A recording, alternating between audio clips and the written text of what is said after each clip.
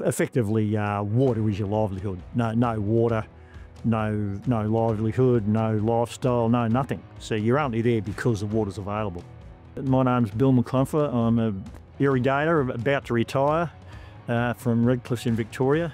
It's been very noticeable to me how complex water is for, for the layman to understand. Even experienced irrigators really struggle with the complexities of water. You have a discussion with a with an irrigator or even a water broker, and you can be quite taken aback at times with their view of a particular uh, aspect of water. My name is Sarah Wheeler. I'm the Matthew Flinders Professor of Water Economics at Flinders University. A water economist does a lot of different things. So if we think about all the different kind of water areas there are, anything from groundwater to surface water, rivers, aquifers, and to seawater, marine issues. So, a, a water economist in particular might do things such as um, looking at all the different values and all the different stakeholders that use water, how they use it, how do they value it.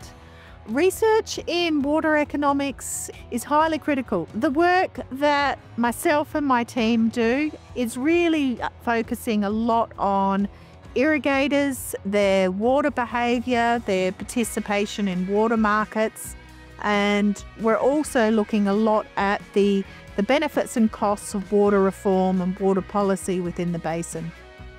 Managing water, both for human beings and for the environment and for agriculture in general, is, is, is highly critical.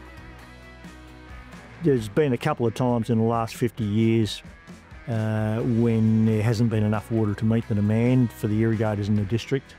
And the development of the water market has meant that uh, irrigators have a strategy to uh, meet that shortfall according to their circumstances. I, I, was able to go into the market and buy uh, water, allocation water, uh, unfortunately at an extremely expensive price. Uh, leaving wasn't a uh, wasn't wasn't really an option. And and as the as the water market matured, uh, irrigators realised that they could devise strategies to to get you know to find their way through through shortages in the future. So you, we learn from our mistakes. What I would love for people to understand a bit better is that there is a whole heap of demand management approaches we can do to help share water.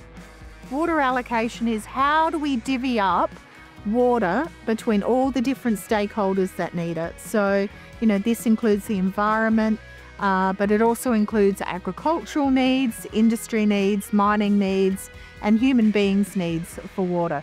Water scarcity in Australia really does hit our rural communities very, very hard. So, water allocation is a sustainable allocation of water across all these shareholders and how we manage it properly. So, that's it's obviously critical to Australia to get that right. We've got to worry about how we use it, we've got to be efficient, we've got to be equitable in how we share it out, and we have to make sure that the environment also gets its fair share.